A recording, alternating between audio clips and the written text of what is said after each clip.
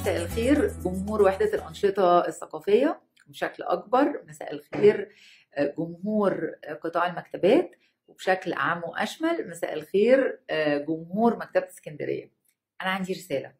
عندي رسالة لكل حد مش قادر يرفع راسه من اهتمام كبير أو لا اهتمام. الاهتمام الكبير ده ممكن يبقى العمل والحياة العملية ممكن يبقى المذاكرة والدرجات ممكن يبقى ماتشات الكورة ممكن يبقى التدريبات الرياضية وتحقيق أرقام قياسية ممكن يبقى ال social media والصور على الإنستجرام و و أو المستمتع بوجوده في دايرة الكسل والفراغ. الرسالة ارفع راسك كده من الحاجة اللي شغلاك أو من عدم الانشغال بأي حاجة وبص حواليك هتلاقي بعيدة عن الشاشات والكورة والصفارة والماتشات والبضايع والتقارير والأرباح هتلاقي ناس. هتلاقي ناس مستنية إن أنت تبص لها في عينها. هتلاقي ناس مستنية إن أنت تسأل عليها أو تطلب منهم إن هم يسألوا عليك لأن هم ممكن يبقوا عايزين يسألوا عليك كمان. هتلاقي ناس عايزة تسمع صوتك وتشوفك مش بس لمجرد الحكاية والرغي المعتاد اليومي مع أقرب المقربين. لا إحنا عايزين نوسع الدايرة ونروح لحد نعرفه ما سألناش عليه. نقول له وحشتنا أنت فين؟ عايزة أكلمك. عايز أعرف أخبارك. طمني عليك أخبارك الصحيه النفسية. سمعت أحدث حاجة مضحكة هبعت لك حاجة قول لي رأيك فيها. طيب هو سهل نغير عاداتنا؟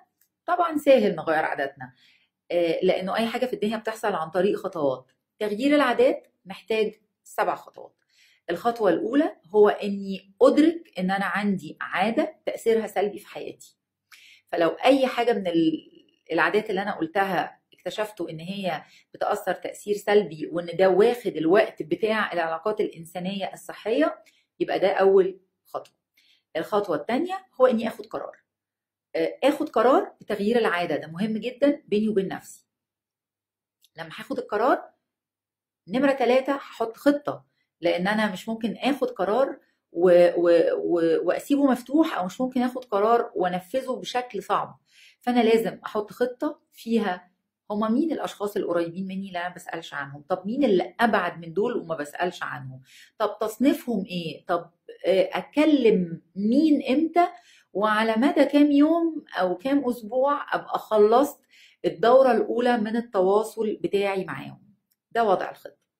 الحاجة الرابعة هو إني أصرح بده لحد لأنه لازم يكون في شاهد على كلامي مع نفسي علشان أتشجع علشان أحس إن أنا ملتزمة في كلامي بكلامي مع حد علشان أقول له الأخبار.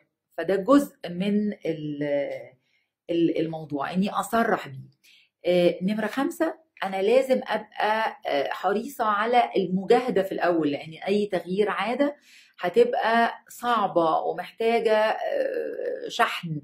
فلازم أبقى حريصة إن أنا ما ضيعش مجهود يوم في اليوم اللي وراه أو ثلاث أيام في اليوم اللي وراه. فأقول لأ مش مهم هفوت النهاردة هسأل بكرة هتصل بكرة. نمرة ستة ما نستسلمش عند التعثر. ممكن تحصل أي أي يحصل أي ظرف ضرورة قصوى تخليني في يوم ما أخدش الخطوة اللي أنا كنت مقرراها جوه الخطة بتاعتي. الناجح هو بس الشخص اللي بيقع وبيقوم تاني. نمرة سبعة أشجع نفسي. قدرت أعمل ده قدرت أحقق النقطة دي في الخطة بالشكل ده أشجع نفسي. بأي حاجة حاجة بحب أشربها بحب أكلها نزولة هنزلها حاجة بجيبها لنفسي. هقول لحد شجعني لأن أنا استاهل هشجع نفسي ودي الخطوة السبعة لو أنا وصلت لده يبقى أخترع الخطوة الثامنه مع نفسي وهي إني أنشر ده لغيري علشان يغير من نفسه والموضوع مش هياخد غير 21 يوم لأن تغيير العادات بيتم بي بيدخل جوه النظام الشخصي بعد 21 يوم. بس أنا أقدر لو أنا من النهارده قررت إن أنا آه، أغير عادة فآخد القرار فأحدد الخطة وبقية الخطوات دي. الحقيقة أنا عايزة أشكر آه، وحدة الأنشطة الثقافية لأن هي خلتني آه، أفكر بالشكل ده معاكم في مبادرة جميلة وحملة إلكترونية رائعة اسمها بدايات جديدة لسنة مختلفة. كل بدايات وأنتوا طيبين وكل سنة مختلفة وأنتوا طيبين و...